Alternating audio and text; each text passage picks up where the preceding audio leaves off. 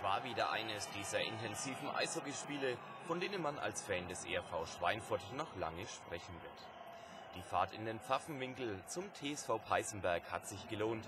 Die Mighty Dogs sind der am Ende vielleicht etwas glücklichere Gewinner des ersten Finalspiels. Aber was waren das doch für tolle 60 Minuten Eishockey?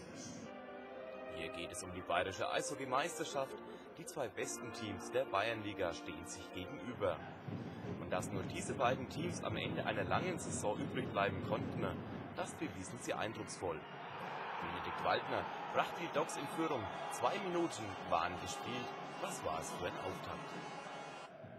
Es war ein unheimlich ausgeglichenes Spiel. Zwei Minuten später der frisch gekürte Eishockey Bayernligaspieler der Saison, Marek Pospisil, erglich für die Gastgeber aus.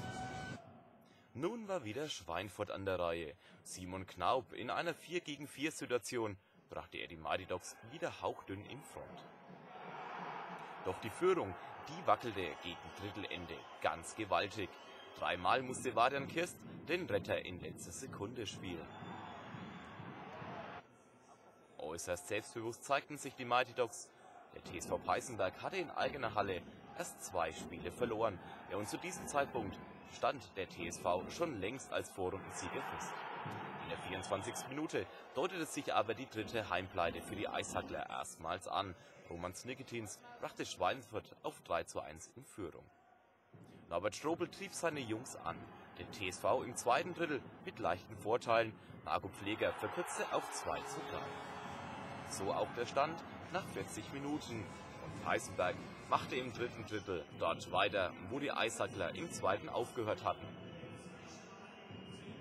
Thomas Becherer setzte nach. Der Ausgang des Spiels war wieder offen.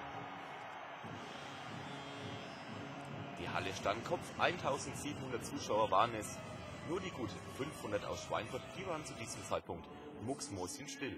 Noch, denn der Stadionsprecher hatte noch nicht ausgesprochen, als Alex Funk die Schweinfurter Fahnen wieder zum Wehen brachte. Das 3 zu 4 die richtige Antwort zum richtigen Zeitpunkt. Nun hieß es, kühlen Kopf bewahren. Doch die Dogs taten das Gegenteil. In der entscheidenden Phase des Spiels kassierte der ERV Strafzeiten am laufenden Band. Peisenberg im Dauer-Powerplay die Strafe für Schweinfurt Thomas Becherer mit seinem zweiten Streich. Es wurde immer hitziger. Die Fäuste flogen, Andi Kleider durfte duschen gehen. Das 5 zu 4 lag für den TSV zu diesem Zeitpunkt in der Luft.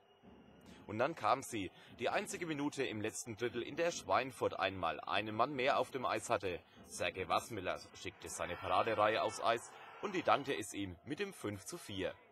Eine Minute und 40 Sekunden vor dem Ende war das die Entscheidung. Peisenberg nahm den Torhüter raus und Alex Funk beschälte den Endstand zum 6 zu 4 für die Mighty Dogs. Ein Spiel gewonnen, das heißt noch nichts. Im Tennis könnte man sagen, Matchball für die Mighty Dogs. Wenn sie den am Sonntag verwandeln, ja, dann werden wohl auch die letzten Höhlen fallen.